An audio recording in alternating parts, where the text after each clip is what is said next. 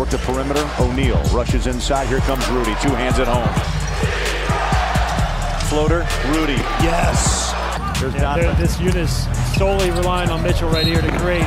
Tony and one. And They are being physical with Gobert. They shovel it inside. Zubac went out with Bogdanovich. Royce picks it up and runs the other way with a five-point lead on a lob. Donovan. Showtime! Showtime it in L.A. I mean, he just takes the elevator up to a new level. Uh, It's just up there. He hangs, grabs the ball, then looks at the rim and dunks it. wanted, but he can't finish. And now a loose ball. Simmons turned the other way. Bogey, showtime it! Yeah, Bogdanovich. Nice lob inside. Rudy with a hammer down.